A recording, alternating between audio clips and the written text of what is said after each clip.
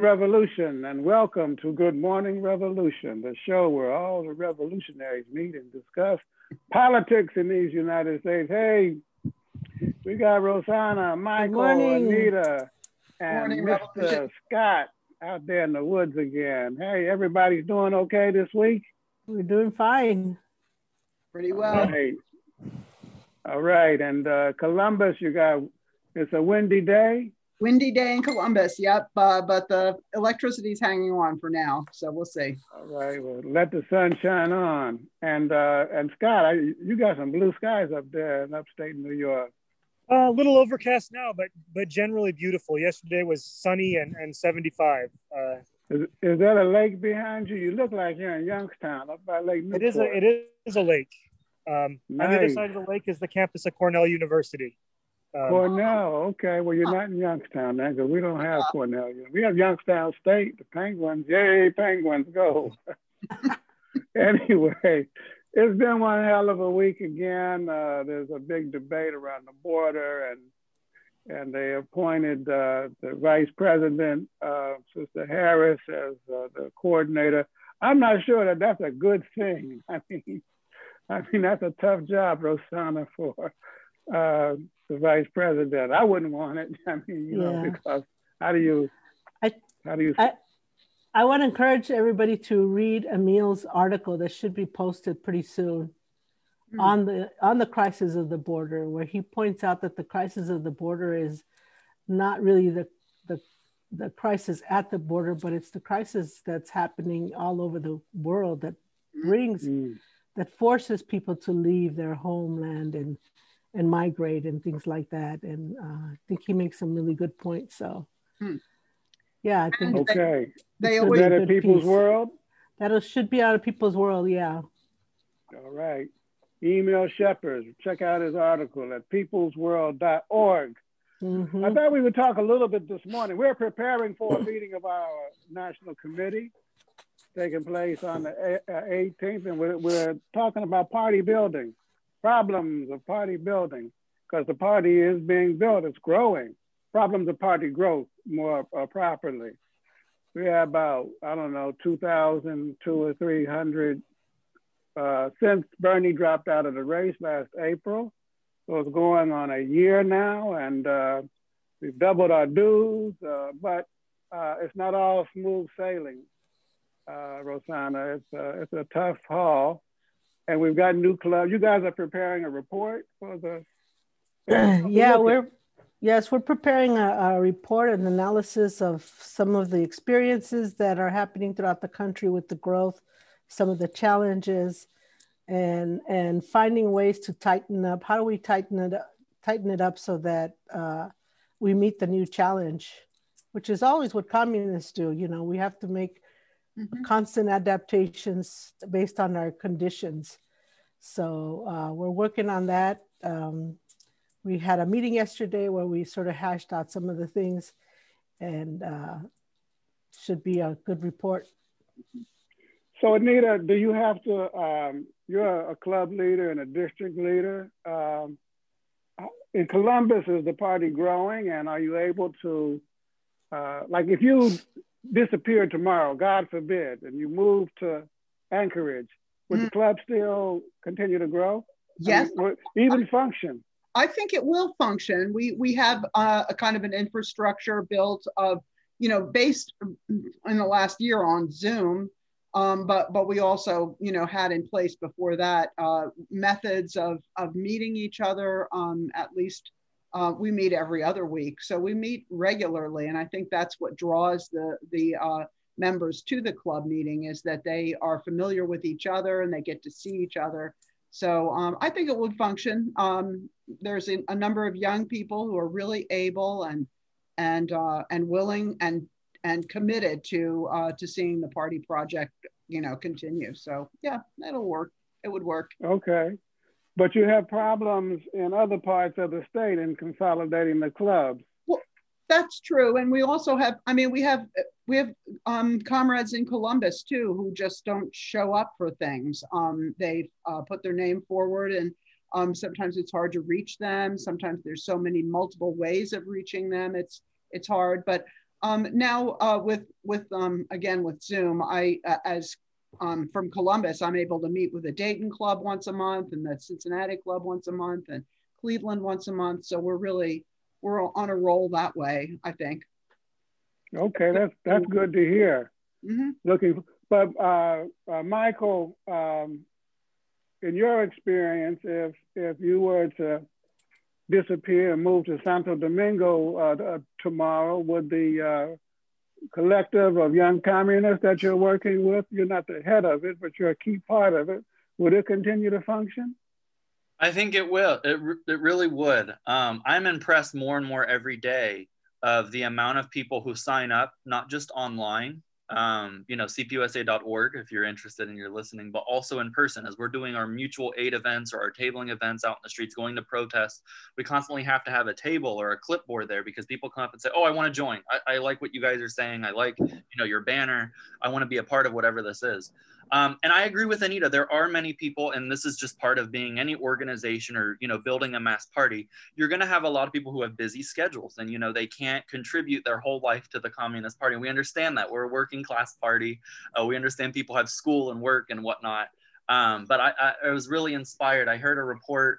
Um, I think it was from the French Party years ago, and they said, you know, in this tiny town, you know, in the outskirts of uh, Paris, we have, you know, uh, 100 communists, 100 party members. But in that community, we have many hundreds more who vote for the communists or, or who are loosely affiliated with it. And so we appreciate you know, all the support and uh, members. So if you're considering joining the Communist Party or being active uh, with the Young Communist League in your area, uh, don't think that you know we expect you to be out there every day, but be involved in any uh, capacity that you can. Scott, what is it? Uh, I mean, we're trying to build a mass party and at the same time, I hear Rosanna talking about the need to tighten up. So how do you manage, uh, on the one hand, um, having the discipline of, of functioning and at the same time having a mass approach? Because, you know, in, in America, this is America. This is not some other place.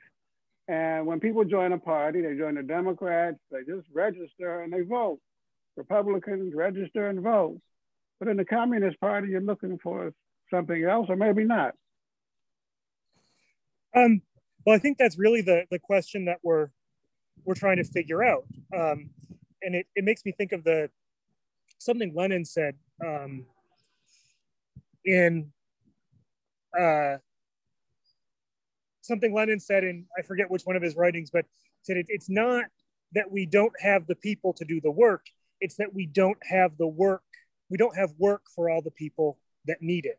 Um, and so the, the, I think there's a, a, persistent difficulty in when people come into the party, finding them something uh, that they can immediately do uh, to make a contribution. Um, because, you know, this is a, you know, the party has uh, a culture, it has a, a, certain theoretical understanding, it has a certain way of working. Um, and it takes, for me anyway, it took time to kind of get into that. It took a lot of, you know, um, getting involved on, on different little projects before I started to understand.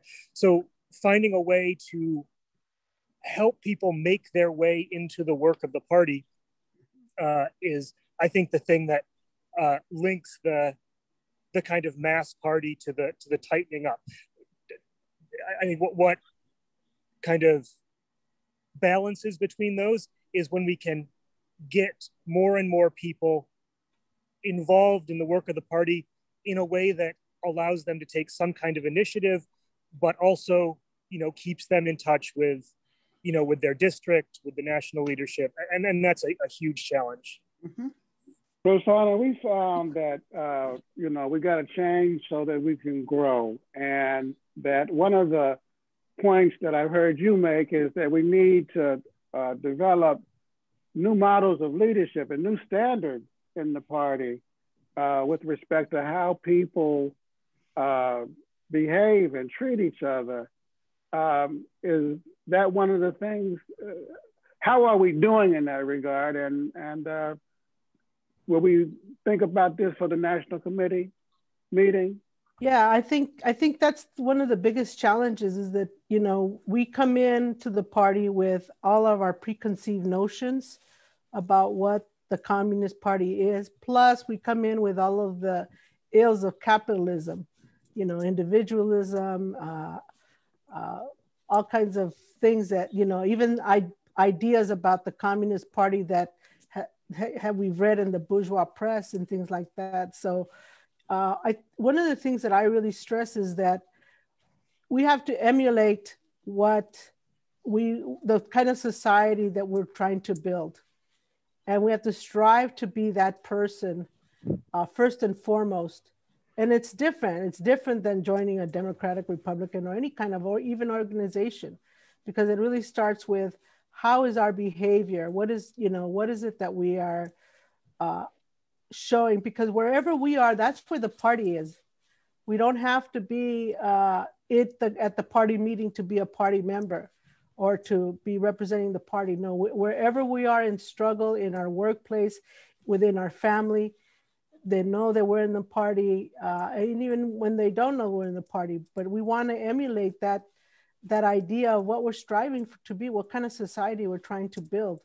So definitely, uh, you know, we need to adopt those, adapt and change to build to to emulate that for ourselves, and so that people more and more will say, well, I want to I want to be that, I want to be a part of this because it, it not just changes the world, but it changes you as well. And, and it really makes you a happier person because you're, you're not, you know, always um, angry and all of that kind of stuff, you know.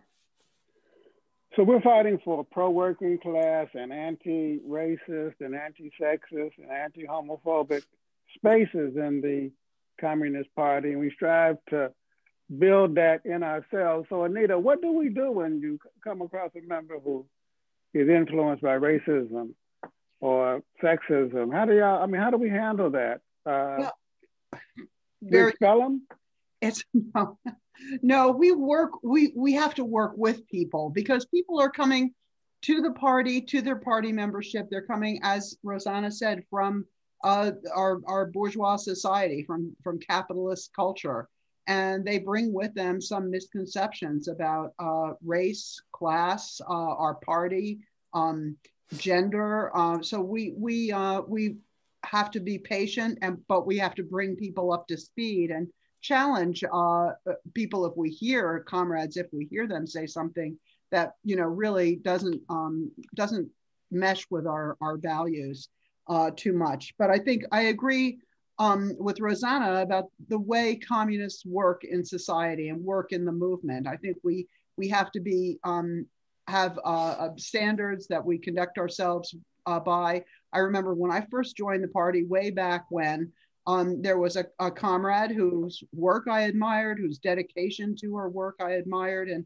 and she was in the party, and I looked to her for political leadership, and that's how I ended up joining the party in the first place. So I think uh, Rosanna's right. We have to be the leaders in in that regard, respect for uh, working class and for each other.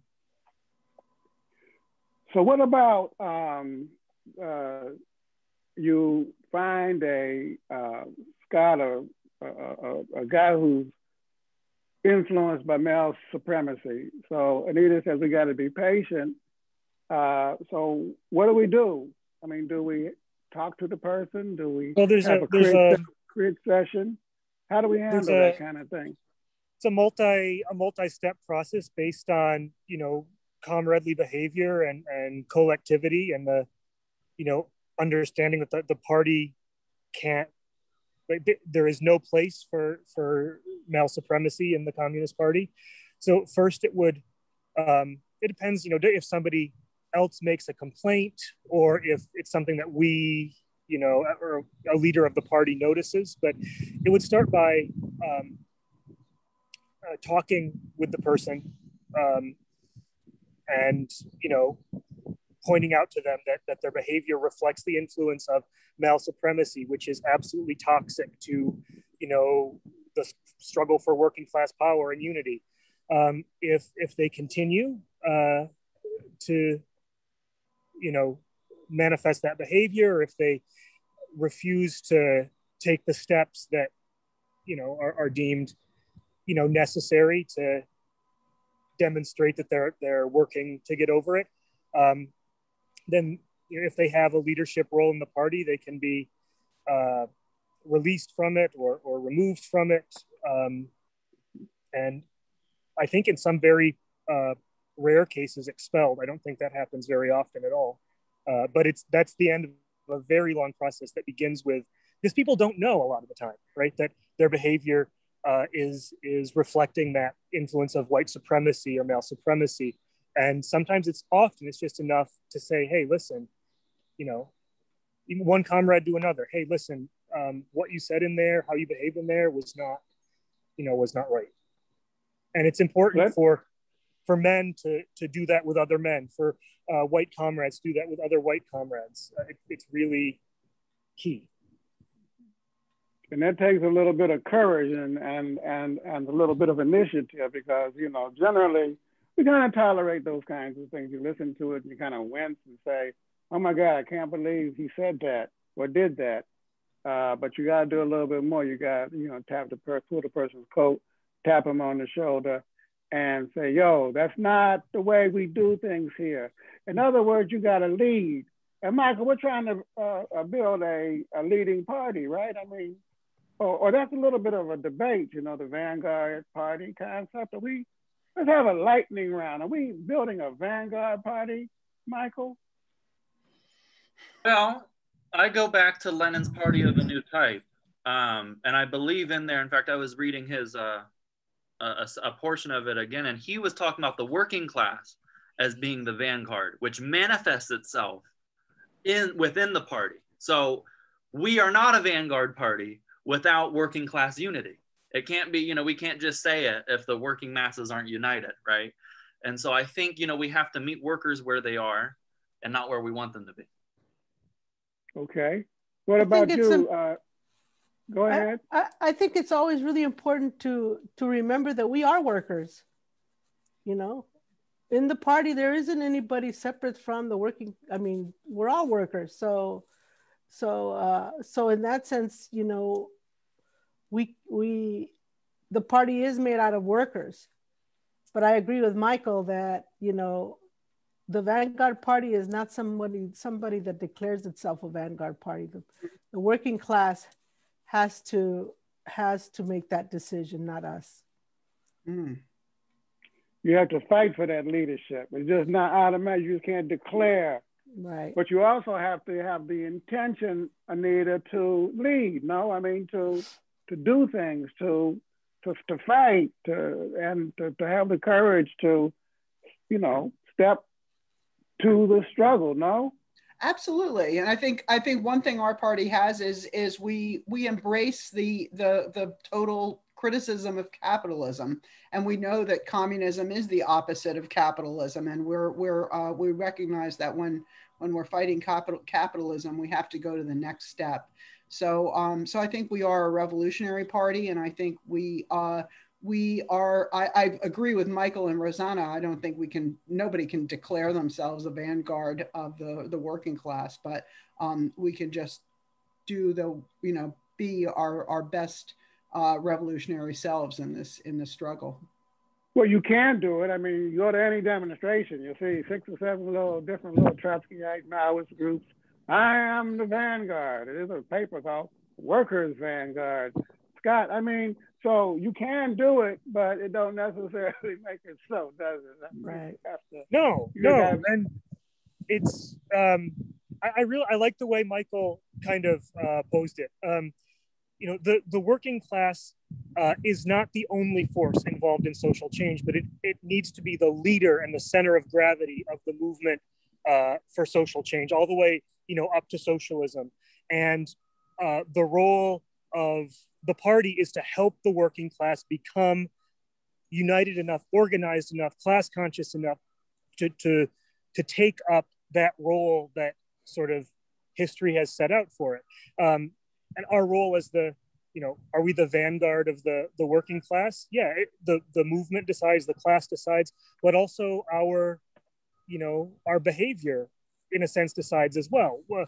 You know, communists are called on to be the most active, most committed, most self-sacrificing, most um, you know unity building uh, members of, of of the class and the movement and and living up to that is really hard but that's also part of you know us being a a, a vanguard party of the vanguard of the, of the class that leads social change but that's a kind of high uh, standard, Scott. I mean, most, most, most, most, most. What if I just want to join and pay my dues and write a letter to the editor, participate in my school PTA, maybe get on this? I mean, the most, can we be a mass, Michael, party and still be the mostest of the mostest?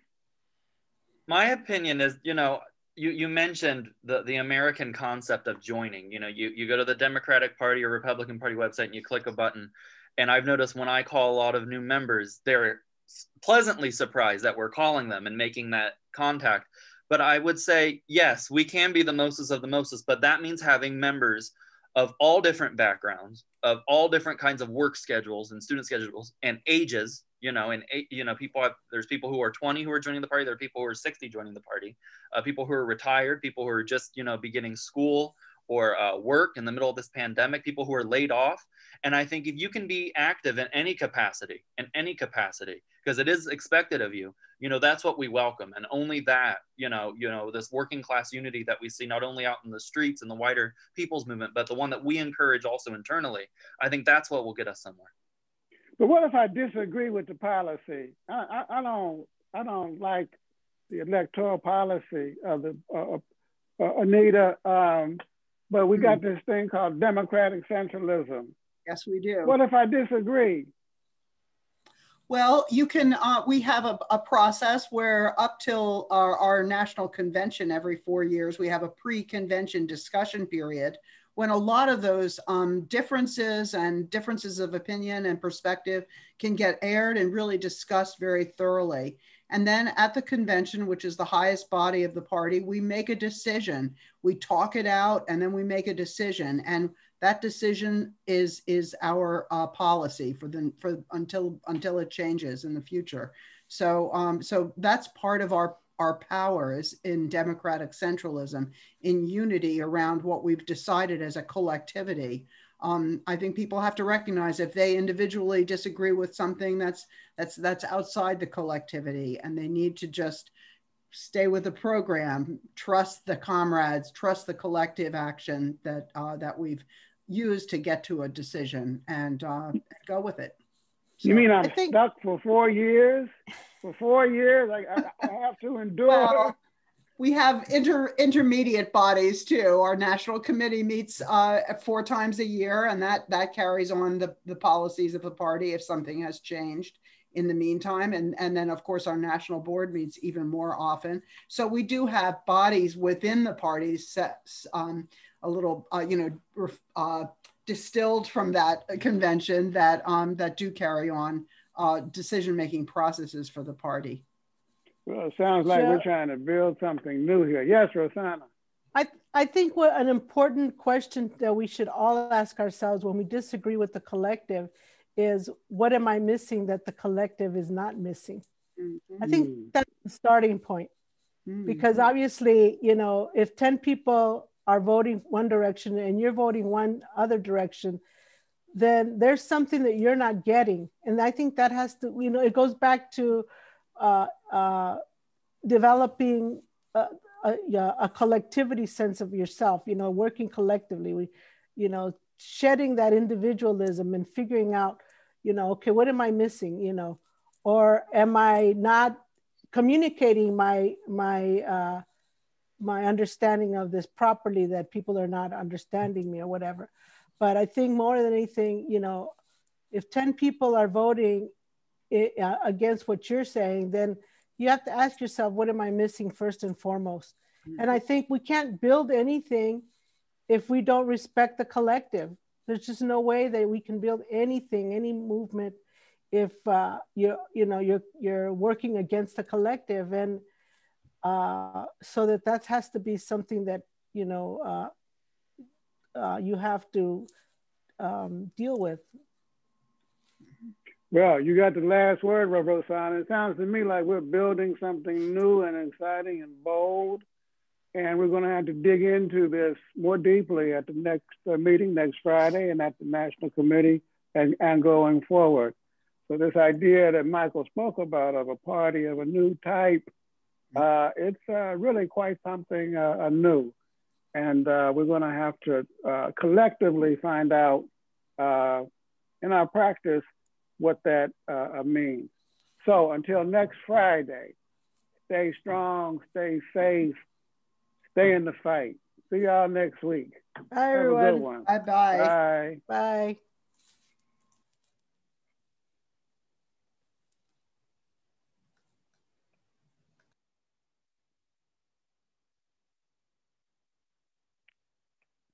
Bye.